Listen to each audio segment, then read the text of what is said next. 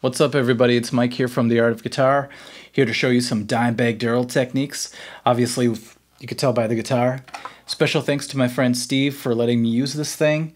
It's pretty awesome. I might have to get one someday. And uh, hopefully you enjoy these techniques. They really helped me out. They made me much a much better guitar player just in the last couple weeks preparing for this video. I really had to nose to the grindstone practice and uh, haven't practiced this much for a long time actually. I feel like a teenager again. So we better get right to it because there's a lot of techniques. So let's start off with the idea of adding a flat five interval to your solos.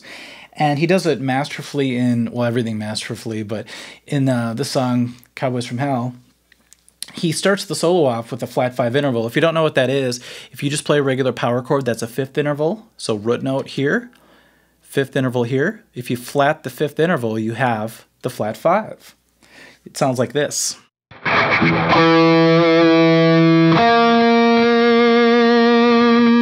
Played together, it's a pretty wicked sound. But when you're doing it in a solo tech uh, context, like he does, you can play them separately. It's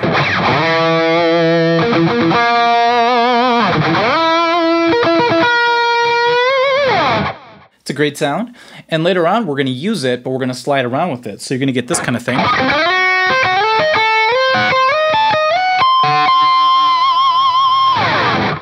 So you could hear it just makes these, this really strange clash of harmonic tones.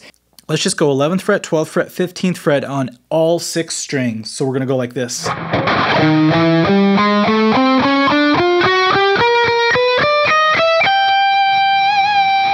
Okay, so if you can achieve that stretch you're good so far. But what we're going to do with it is we're going to put it into a certain picking and hammer-on technique. So we're going to pick the first three notes, and then we're going to replay those first three notes, but we're going to do it with hammer-ons the second time. And we're going to repeat that on all six strings, even though the real song doesn't do it on all six strings necessarily. The end is a little different. We're going to do this as an exercise because we're here to learn the techniques, not necessarily the solo, okay? So...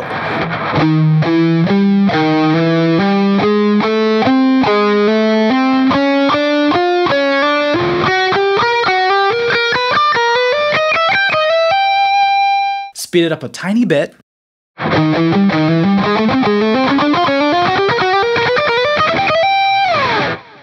Okay, then if you go almost full speed, you're going to notice why he does the hammer-on at the end. Because if you have to pick everything, which by the way we'll have to do later, if you have to pick everything, sometimes it slows you down. and doesn't make it sound as fluid as you want it to be.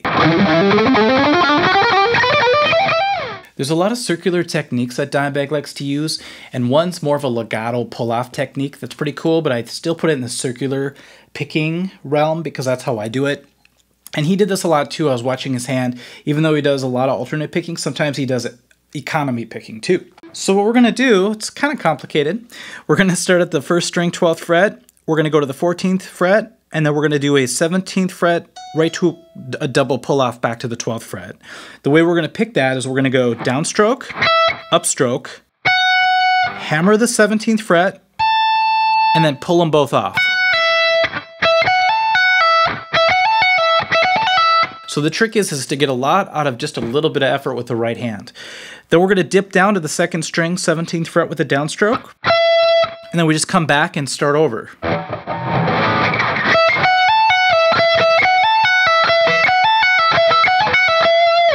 Now if you notice, because I'm using my down-down picking, it becomes a circle, and then your left hand just has to do a little bit more work and you get a lot of sounds out of it.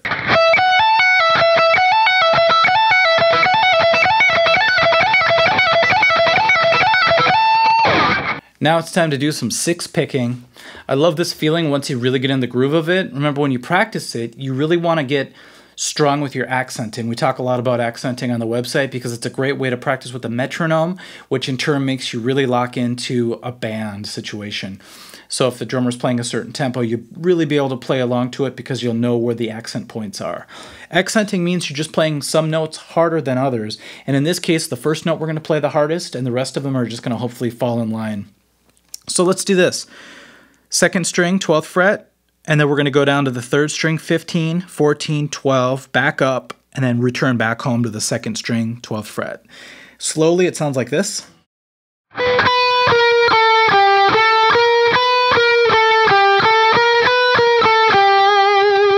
So if I had the accent,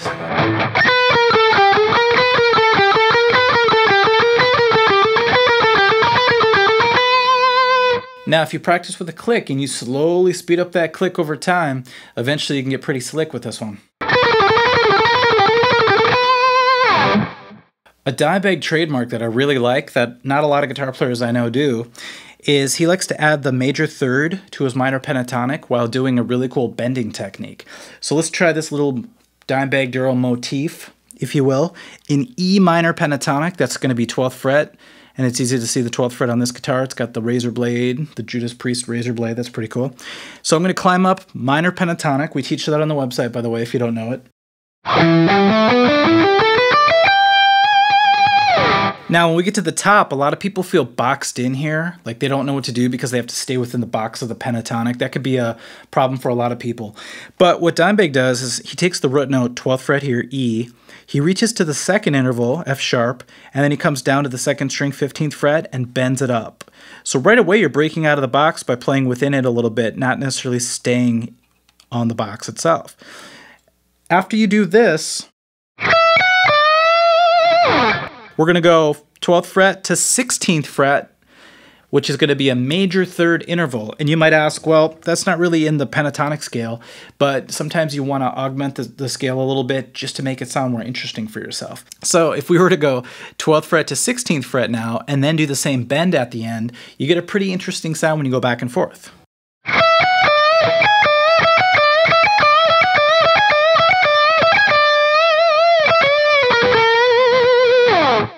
Two string slides with pull offs, very important in Cowboys from Hell, especially. I'm just going to show you a quick example of it and show you what's going on. I'm going to choose the third string and fourth string, and all I'm going to do is I'm going to do a pull off on the third string, reach down to the fourth string, and instead of shifting my position and then doing some pull offs, I'm going to just slide into the new position. So you get a little extra note there.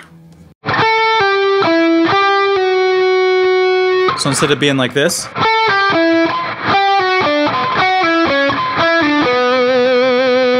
I'm going to slide instead to give it a different type of dynamic.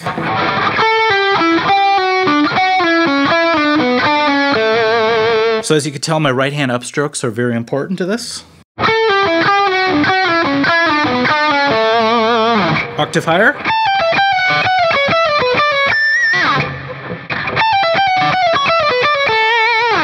Don't forget, guys, a lot of country players, southern rock players, southern metal players, which I consider Pantera southern metal, they like to use sixth interval dyads, and that's when you're climbing up two strings. In this case, we're going to be on the first string and third strings, and we're going to play a couple different shapes. We're either going to do this shape here, which is in this case going to be the first string, fifth fret, third string, sixth fret, which gives you this sound. Or we're going to be doing middle finger on the third string, seventh fret, ring finger on the first string, seventh fret. So one of those two shapes are going to be used in a lot of these examples. Today we're going to take the end of Cowboys from Hell solo and we're going to utilize this concept to show you the sound of it.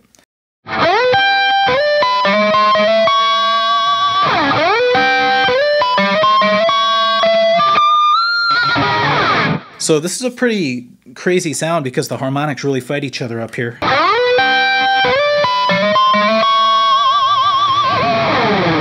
I can't explain it, but if you hit it just right, there's this weird middle sound that happens, this hollow tube sound, and uh, Dimebag really exploits that at the end of one of his solos.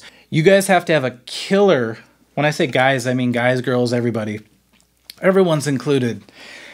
With your right hand, you have to have really good muted, palm muted rhythms, I should say.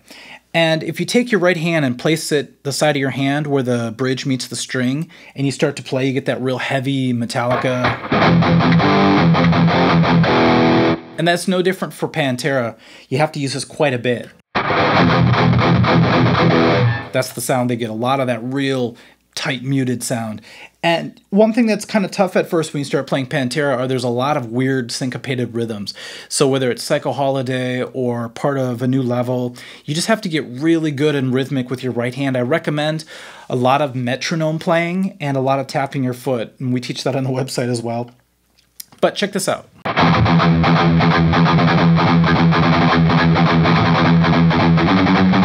So you might just want to start with downstrokes. Add upstrokes. Speed it up. Then you could try different triplet rhythms.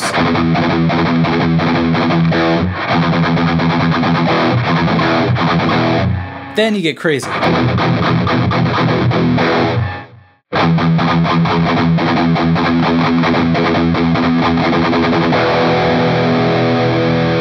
The key here is a syncopated right hand locking into the groove.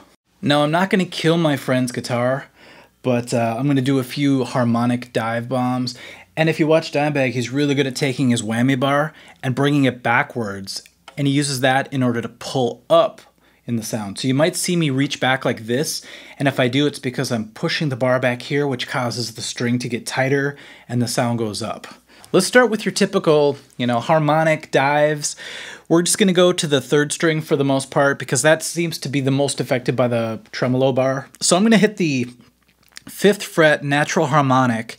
And if you don't know what that is, once again, website. But it's where you touch the string at a particular point, and when you play it, you just get a real high piercing sound, which is great for the you know the cemetery gates ending of the solo, where he's or the ending of the song where he's really pulling it up high. He gets some pretty insane harmonics, and that's what he's he was really known for was real screaming harmonic dives. So let's start with just the fifth fret though.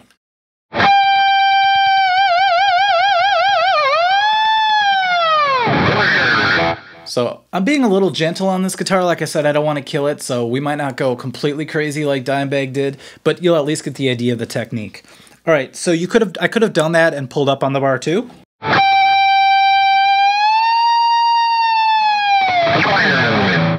That's pretty fun. I never get to do that on my Stratocaster, so uh, then you can go to the higher frets. In this case, you're going to think this is lower, but it pr produces higher tones. So let's go to the fourth fret.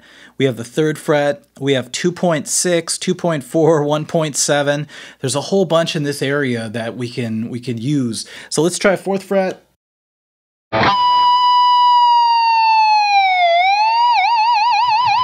That's your police siren sound right there. Let's try some of these over here.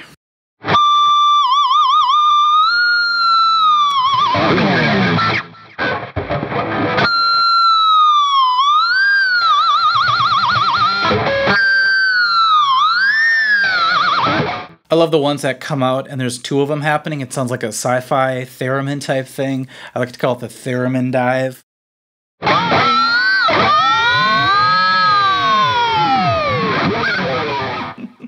I love octave jumps because it could take an idea and it, you could just move it around to do two different octaves and it really sounds like you're doing something kind of awesome and different, but it's really just the same thing played in two different places. So let's say this is your first lick.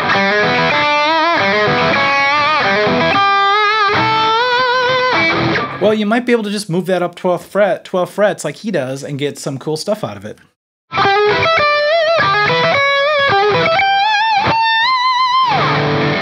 So try that sometime. Just count up 12 frets and do the exact same thing, the mirroring technique, and uh, get more out of what you've already done.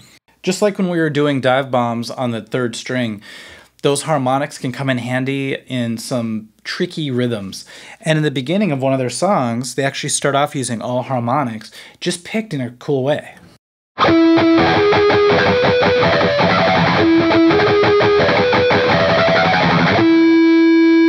Some people just like to pick the string really fast and move their hand around on it. It's got the Billy Idol thing going on. Smashing Pumpkins have done it before. Something like that. We'll worry about that in the Billy Corgan video if I make one. But that's the idea is these harmonics can be very useful both in leads for squeal and dive bombs, also for rhythms, as you know with Randy Rhoads during Crazy Train.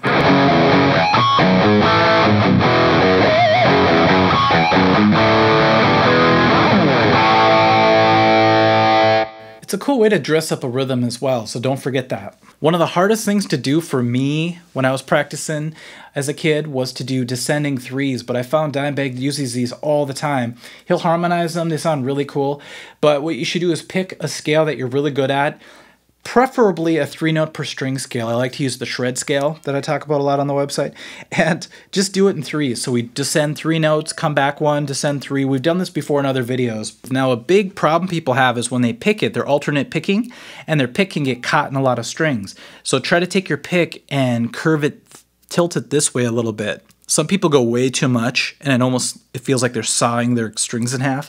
But really just give it a little bit of a tilt and you could really smoothly flow between strings. So I'll go slow if you want to watch the pick.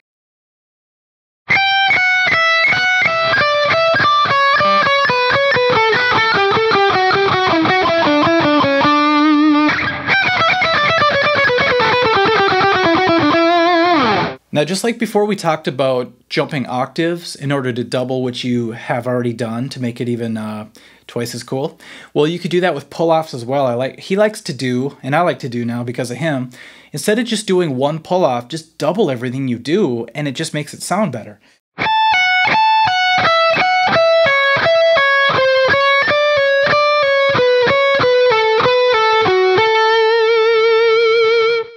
Now, if I did half that amount, you would just have half the uh, the sound, which would be.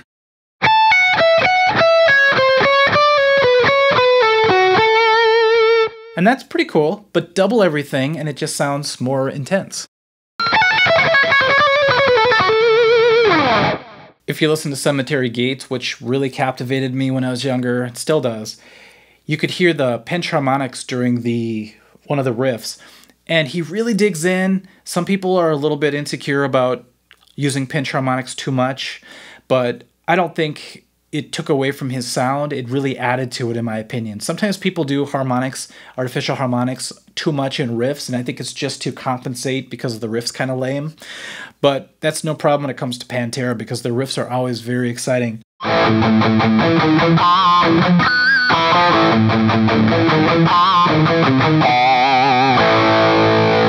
He uses it very effectively in Cowboys from Hell, adding a pull off to it as well. That rhymed.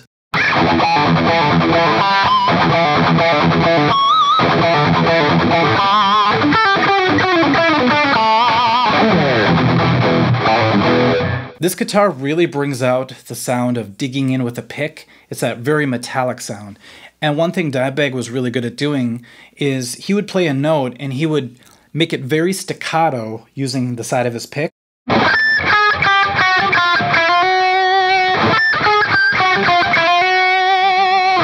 So when I'm doing this, I'm picking the note and then I'm stopping it right away with the side of the pick. And sometimes you get a little bit of a harmonic or a scraping sound, which is very cool.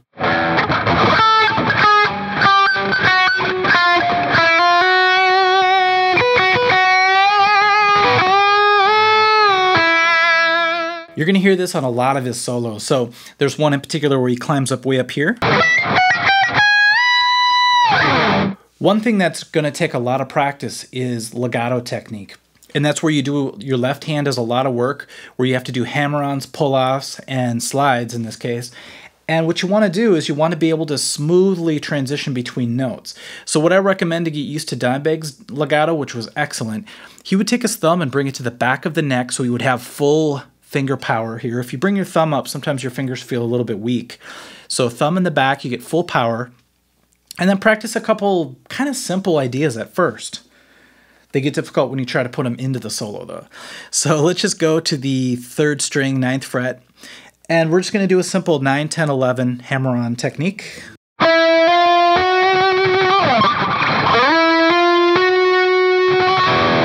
Now, if you want to practice that, you could do that across all the strings. That's fine.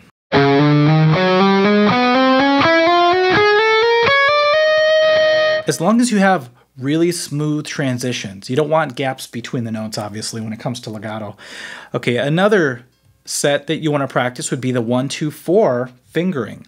So we're going to go to the second string now, 9, 10, 12. And I want you to climb up using hammer-ons and come back down using pull-offs.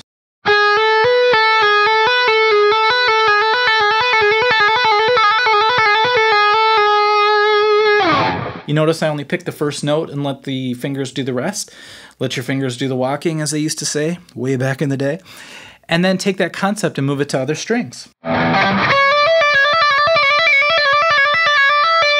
Notice my right hand's doing a lot of muting, as well as my left hand first finger is touching the string directly above it to make sure it's not making a bunch of noises. So, so far for this particular lick, we have just a chromatic 1, 2, 3 on the third string. Then when we get to the second and first strings, we're doing this 1, 2, 4 stretch as we do hammer-ons and pull-offs.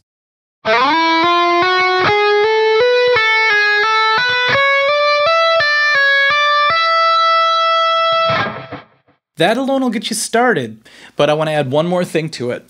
When you get to the very top here, as we do the hammer-ons and pull-offs, we're going to actually add a slide with a pinky.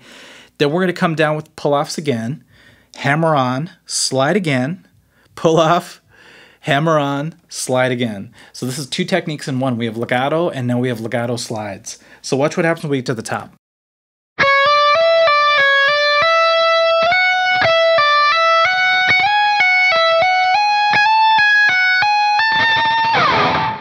Kind of cool. Sometimes I do add a pick just to make it stronger. I've seen him do it live where he just climbs up with his left hand. Sometimes he'll add a pick just to kind of boost it, just a little bit.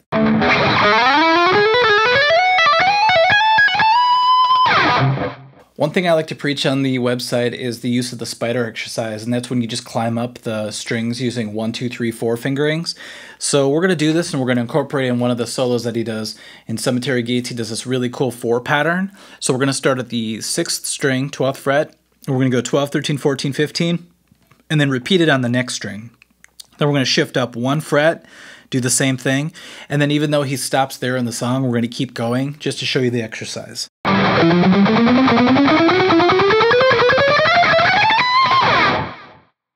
It's really hard to do on the skinny frets. I found there's a little bit of a tendency to land on the frets themselves, which causes a dead sound. So you want to be careful of that, all right? So that's the concept. We're just doing fours, fours, moving up, fours, fours, and it kind of creeps up in this diagonal pattern. This particular technique is proof that you have to have crazy stretching ability to play Dimebag licks. Can you reach from the 15th fret to the 22nd fret? Satch does this a lot too, Satriani. But let's try this one time. We're going to do a pull off from the 22nd fret to the 15th fret just to test your flexibility. And then we're going to do kind of a circular pattern where we're going to reach down to the 20th fret with our ring finger on the second string.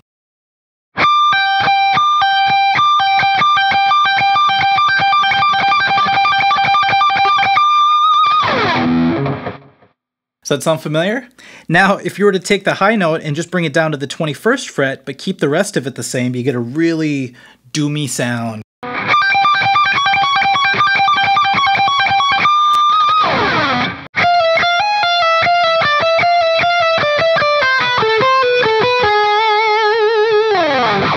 That's just the Phrygian dominant mode, but when we're playing it, what you're noticing is I'm just doing his pattern. So there's some hammer-ons and pull-offs. You can look up the exact tab for the solo online if you want to, but I just wanted to show you where this uh, where this ideas were coming from and which scale.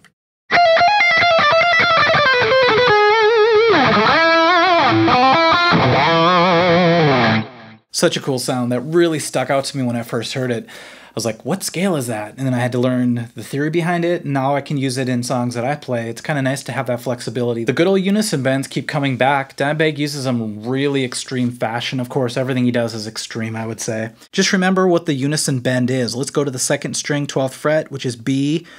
Reach down to the third string, 14th fret, which is A, and we're going to use two fingers to help bend that A up to a B, while leaving this first finger where it is, okay? So we get this.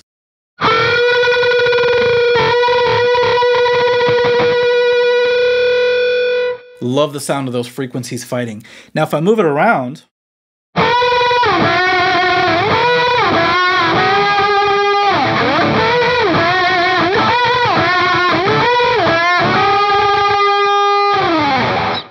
pretty cool sound. Let's add a little bit of wah pedal just to just to play with it a bit.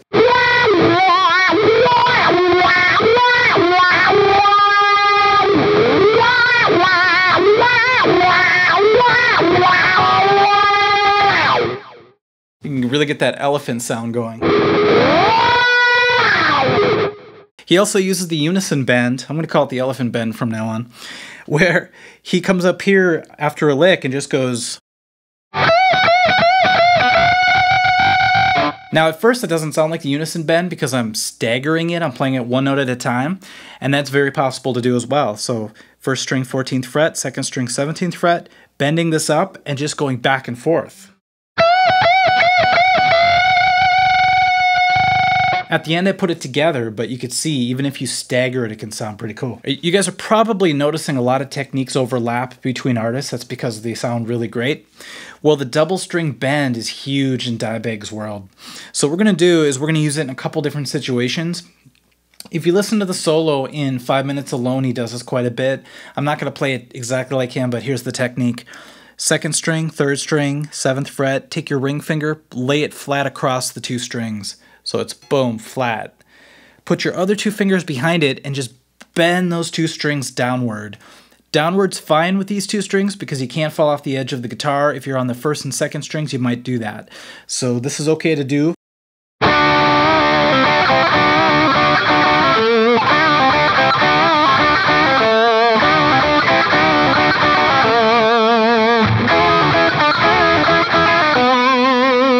Another way he likes to use the double string bend is a lot of solos, you'll see him reach up with the first finger after doing a pentatonic type run and just go back and forth by hitting those two notes.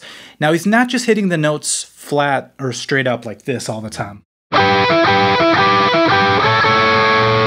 He'll be giving him a little bit of a bend if it's even just a quarter bend. It's just something to give him some more life.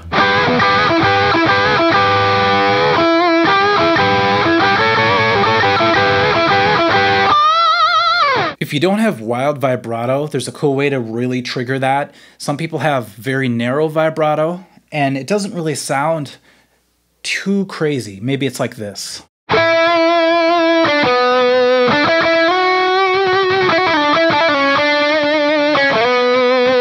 That's just fine if you want to sound pretty, but when it comes to Dimebag's playing, you want more of a wide, expressive vibrato, okay? So Dimebag might go something like this instead. I'll go slow first. So that's more of a slow bend at first. You start to speed that up. That's when the vibrato happens. So I consider vibrato really fast bends.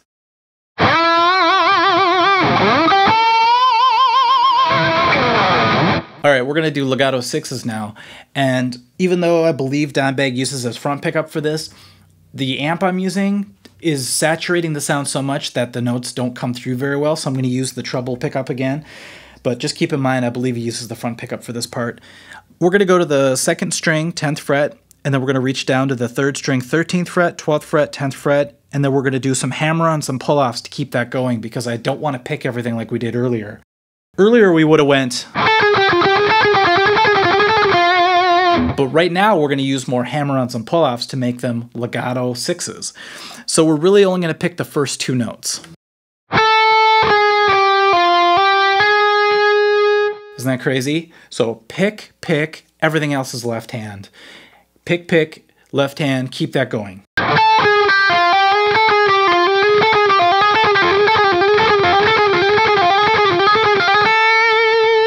Now what we're going to do is instead of reaching to the second string 10th fret, we're going to reach to the 10th fret of the first string. So it's a bigger reach. And start off slow, alternating between the two.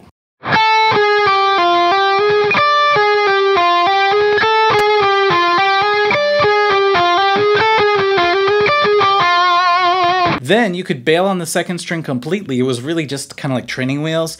Now we're going to make the jump every time. Once again, the metronome will be your best friend for these Dimebag techniques, especially the fast ones that require a lot of accenting. Here's a cool exercise for you guys. Let's say you're playing pentatonic, G minor pentatonic, and you end up on the fourth string, fifth fret. What we're gonna do is we're gonna slide it up close to the octave point. We're gonna reach down with our other hand, we're gonna fret that same note, and we're gonna pluck the left hand off, causing this note to happen slide that up to the octave, reverse hands, pull off like you're doing a tap, slide up, and keep exchanging, and you're to get this really cool Dimebag effect.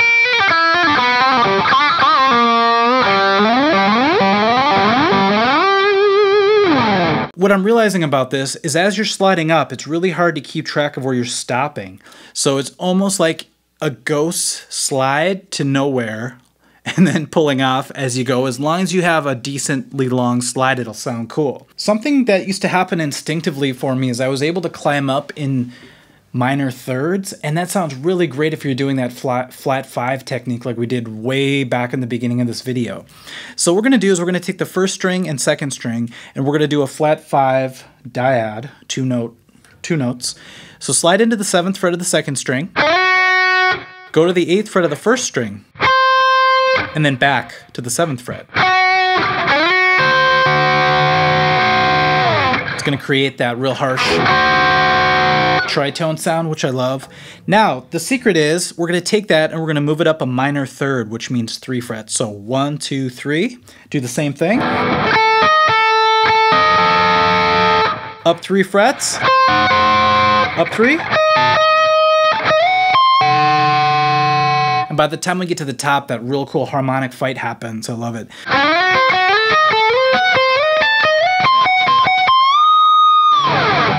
Don't be afraid of using pentatonics for riffs. For example, this isn't in the right tuning, but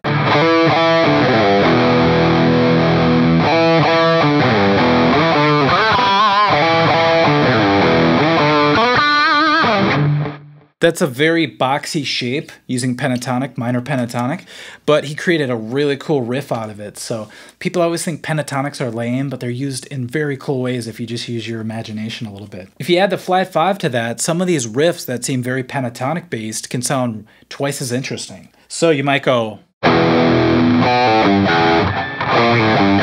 There's a flat five right there.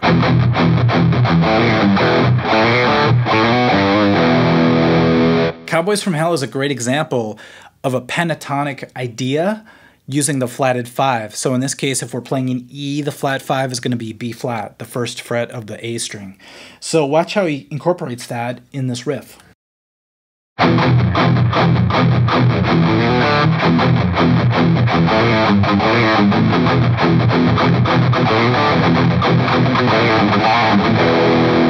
Flat five's huge in Cemetery Gates.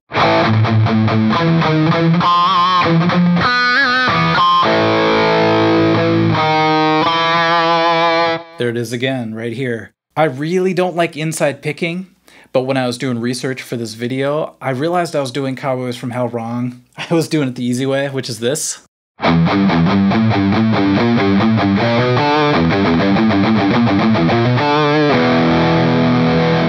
Which I actually learned out of a book, so I thought it'd be correct. But when I watched the video, I'm learning through YouTube that a lot of things I used to play that I thought were right were a little bit off.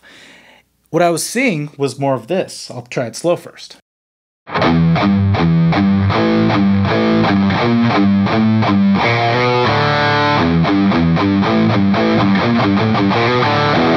So I was a little disheartened because I realized I'd have to do inside picking, which I hate to do.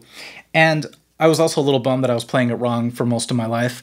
But if you don't know what inside picking is, it's where the pick would be inside of two strings and you'd have to do a downstroke and an upstroke inside of that little area. I just don't like to feel trapped between the two strings, but you have to get used to it. Sometimes there's just riffs where you, there's no way around it. You have to do that. And this is the case, so watch real slow. Remember, I'm not teaching the riff, I'm just showing the inside picking technique for the most part.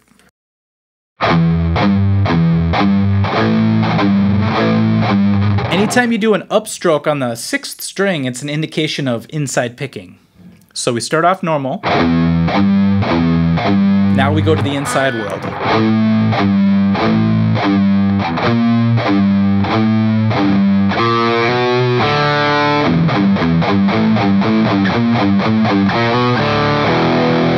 One of the hardest things to master for me was picking in sixes on one string and basically repeating the left hand in threes, but having to pick sixes altogether because you're doubling what the left hand does.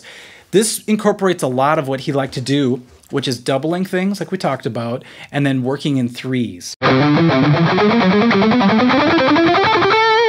So you can already get pretty speedy with it. As you know earlier when we did the Cowboys from Hell lick, we picked the first three but then hammered on, which is a lot easier. When you have to pick everything, you gotta be a lot more precise.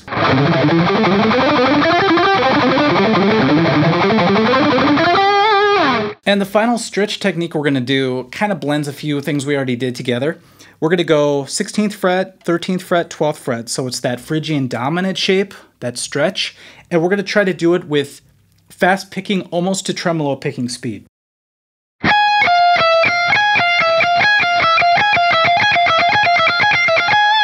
Now what we need to do is work with the metronome and use accents again. Surprise, surprise. Eventually, you keep speeding up that metronome. You can let your right hand just go into tremolo pick mode, which whatever way you tremolo pick is fine for now.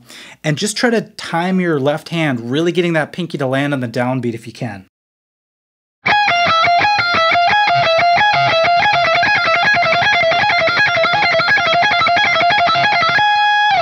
Then we reach our pinky up to the 17th fret and do the last big stretch of the day.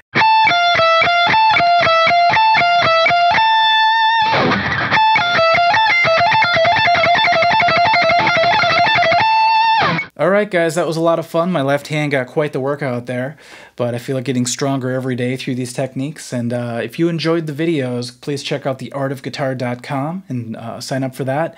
And then the YouTube channel as well. If you want to subscribe, that would be great. We're getting a lot of people signing up and uh, a lot of people learning from our videos, it seems like. So once again, thanks, Steve, for letting me use your awesome guitar, and I uh, appreciate it. We'll talk to you guys soon.